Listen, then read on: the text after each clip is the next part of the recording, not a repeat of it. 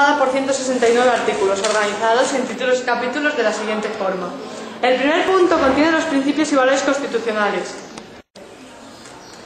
o lo que es lo mismo, los derechos y libertades de los españoles, dirigiéndose a España como un Estado social y democrático de derecho. El segundo punto contiene la organización de los poderes del Estado, haciendo referencia a algunos, como el Gobierno central, formado por el presidente y los ministros. El poder legislativo por el Congreso y el Senado la justicia por los tribunales, la corona representada por el rey y los príncipes de Asturias, y la organización territorial constituida por las autonomías y las entidades locales.